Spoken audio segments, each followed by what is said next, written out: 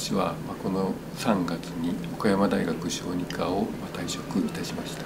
そして清水前院長の後任として労災病院の院長になりました森島と申します。まずは主任の抱負から教えていただいてもよろしいでしょうか、はい、岡山労災病院はこの岡山の南の方に位置しております。ですから岡山市の南だけではなくて岡山県全体の南の方玉野を含めてですね、まあ、そういったところにある唯一の基幹病院ということで、まあ、全科揃っておりましてこういったところのやはり機能を重視させていくと従来のように地域に密着した形で重症患者さんも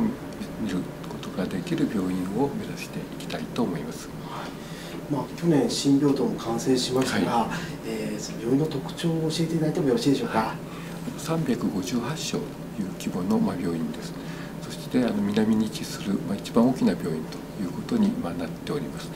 そしてあの機能としてはですね非常にあの多くの科が全部揃っておりまして HCU、ICU もあります。ま、そういったことで多くの形であの対応できる病院でしたけれどもこの1年前に病棟が新しくなりましたそして今年の春外来棟も新しくなりましたそしてこう管理棟玄関も新しくなったので当に新しい形が全部完成したと言っても良いと思います。ですから、まあ、患者様には素晴らしい環境であの医療を受けていただくということがやっと整ったというふうに考えております。入院された患者さんは病棟のイメージがグリーンとかそれからあとオレンジ色とかですね、まあ、非常にあの爽やかな色があのトーンで統一されておりまして、まあ、いろんなところがですね非常に明るい雰囲気に作ってあります、まあ、それも大きな特徴で、まあ、大変、まあ、好評をいただいております、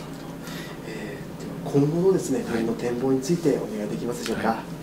今後ですねますます、まあ、この地域の特殊性地域と密着した形でそして重症患者さんをきちんと見ていけられる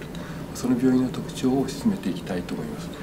できるだけ新しい医療を取り入れてそしてあの非常にこう今進歩している医療にきちんとあの対応できる病院を目指していきたいなというふうに考えております。